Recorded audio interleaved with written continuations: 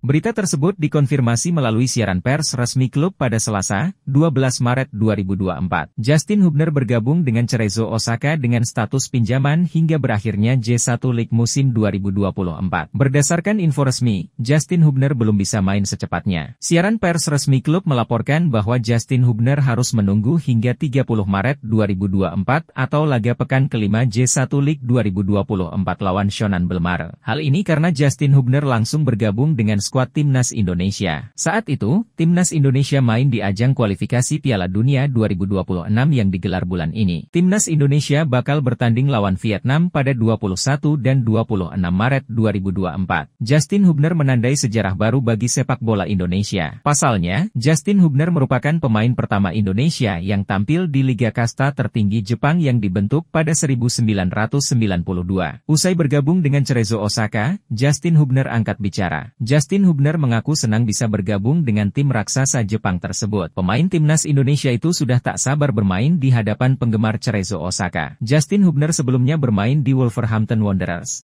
Pemain 20 tahun tersebut baru saja promosi ke tim senior Wolves. Penampilannya yang cemerlang di tim U21 tidak membuat Justin Hubner masuk dalam daftar susunan pemain. Sebelumnya, ia juga menyebar kabar soal masa depannya. Dia dihubung-hubungkan dengan tim asal Amerika Serikat, Inter Miami dan Cerezo Osaka.